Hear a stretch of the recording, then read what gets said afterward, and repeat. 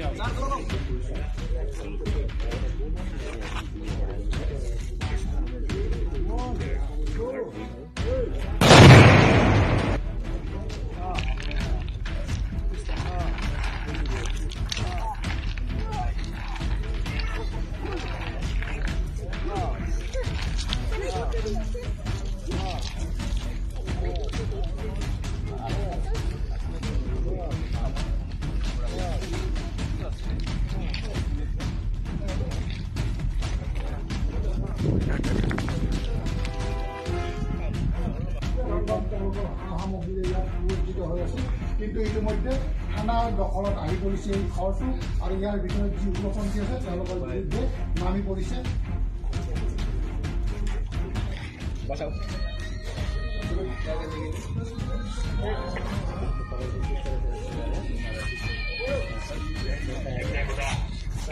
जवान किट के तैनात है एक तरह से उसको पकड़ा जाता है